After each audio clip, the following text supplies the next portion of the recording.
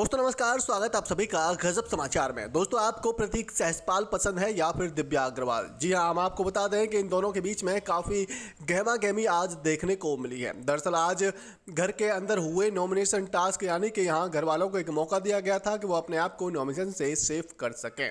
लेकिन इस टास्क को यहाँ बिग बॉस को रद्द करना पड़ा, क्योंकि घर वाले जो है पाँचवें राउंड में कुछ ऐसे काम करते हुए नज़र आए थे, यानी कि यहाँ इस टास्क को रद्द करना पड़ा। और इसके बाद यहाँ प्रतीक सहसपाल और दिव्या अग्रवाल आपस में भिड़ते हुए नज़र आए। दरअसल यहाँ प्रतीक सहजपाल दिव्या अग्रवाल से कहते हुए नज़र आए कि तुझ में लोगों को यूज़ करने की जो काबिलियत है, वो तेरे से ज़्यादा अच्छी और किसी में भी नहीं है।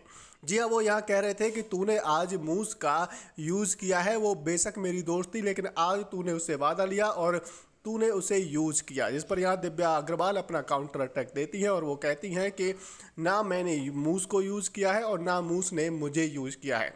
इसमें यहाँ मूस भी नॉमिनेशन से सेफ़ होना चाहती थी और मैं भी नॉमिनेशन से सेफ़ होना चाहती थी। दोनों ने एक अपने अपने फ़ायदे के लिए ये अलायंस बनाया था, ना कि मैंने मूस का यूज़ किया है। इस पर वो यहाँ ये भी कह रही हैं कि मैंने ना तेरा भी कभी यूज़ किया है। जब एस और स्पेस में तू मेरा भाई था, तब मैंने तेरे लिए भी करा था और तूने मेरे लिए भी करा था। मैं डिनाइड नहीं कर रही हूँ कि तूने मेरे लिए कुछ नहीं किया था। तो इस तरीके से यहाँ प्रतीक सहजपाल कहते हुए नज़र आ रहे हैं कि मुझे सब पता है कि तू किस तरीके की इंसान है, किस तरीके से तू यहाँ लोगों को यूज़ करती है। जी हाँ तो दोस्तों, इस तरीके का है ये वाक्य। दोस्तों, इसमें आपको कौन सही और कौन गलत लग रहा है, आप हमें कमेंट बॉक्स में कमेंट करके अपनी राय ज़रूर दें। साथ ही अगर आपको वीडियो पसंद आया है तो वीडियो को लाइक और शेयर करना तो बिल्कुल भी ना भूलें।